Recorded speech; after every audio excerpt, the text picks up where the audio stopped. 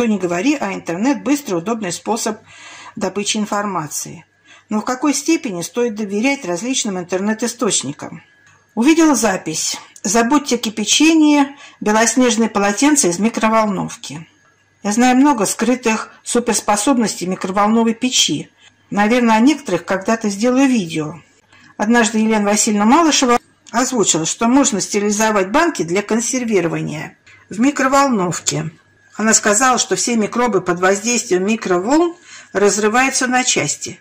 С тех пор я стерилизую банки только в микроволновке. Ну а тут вдруг такое – белоснежные полотенца без кипячения.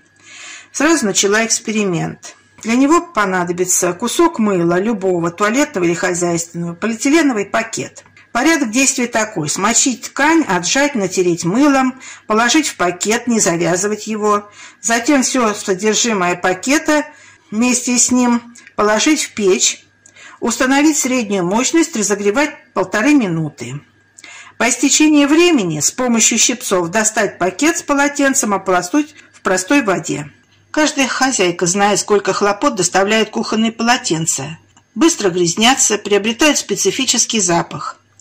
Моя свекровь всегда кипятит тряпочки, и они у нее всегда выглядят замечательно. Я же всегда пыталась найти замену этому трудоемкому и времязатратному способу. Стирала в стиральной машине с отбеливателем. Кстати, загружать несколько тряпочек на большую машину – это неэкономично. Стирала в посудомоечной машине вместе с посудой, ультразвуковой машинкой. Но такого эффекта, как у моей свекрови, нет. Ближе к делу. Прежде чем снимать видео, я уже попробовала помыть тряпку таким способом. Результат порадовал.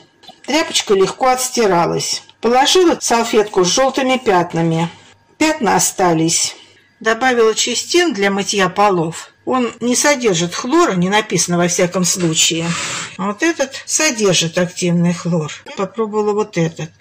И увидела результат. Вот моя грязная салфетка была вся в желтых пятнах. И пятна отошли. Стала равномерного цвета. Но сказать, что она белоснежная, трудно. Попробуй удалить желтые пятна с вот этого вафельного полотенца. Когда-то я его использовала при консервации, накрывала что-то или ставила на нее. И такие желтые пятна. Это полотенчико не использовалось долго. Оно и не глаженное. Ну вот, попробуй все-таки, наверное, взять чистин с активным хлором. Тряпочки.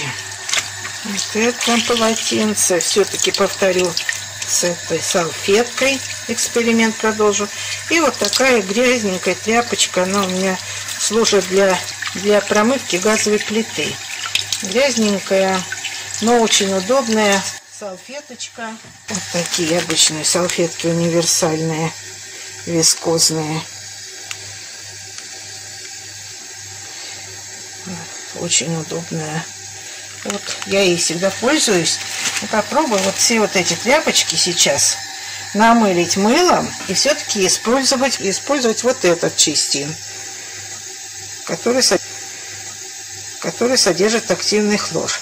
Итак, вот тряпочки намылила простым мылом хозяйственным. Можно любым, как было написано в инструкции.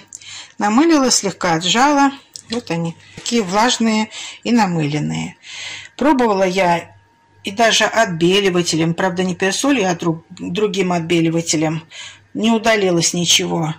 Написано в инструкции, что можно использовать даже шампунь любой. При этом махровые полотенца якобы будут пушистыми. Но я вот попробовала чистин сначала для мытья полов, он без хлора. А теперь, как я уже повторяюсь, возьму вот этот чистин с хлором. И еще раз смочу желтенькие пятнышки.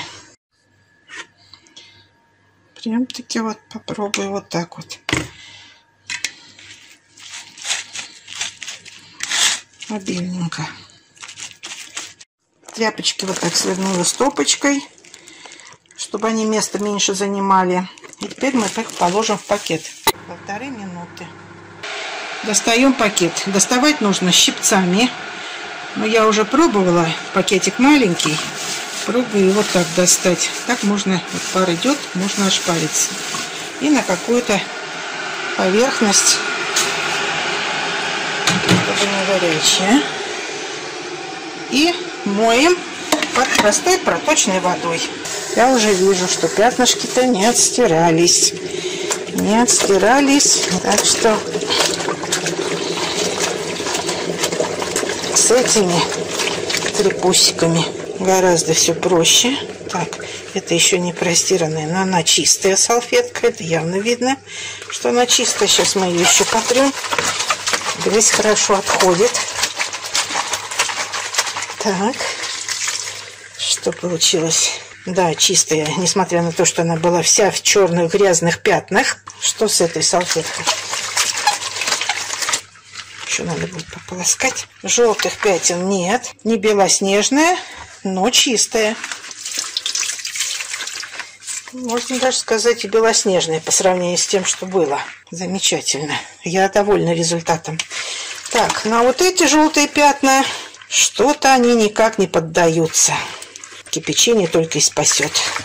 Да, оно как-то побледнело, но не отстиралось. Таким способом рекомендуют даже стирать нижнее белье беленькое, беленькие носочки, но я еще до этого не дошла. Способ действительно работает, помогает, но застарелое пятно мне удалить не удалось. Всем удачи! Thank you.